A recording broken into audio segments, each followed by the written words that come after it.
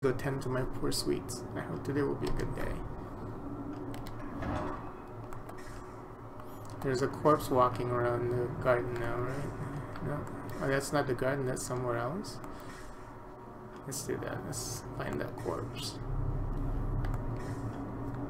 Yeah, I see it. Oh shit, it's in the hallway now.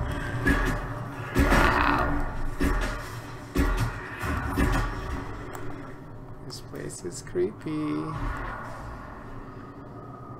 This place is creepy. I said this place is creepy and then he's Varric agreed and said the same thing. Wow, that has to be highlighted.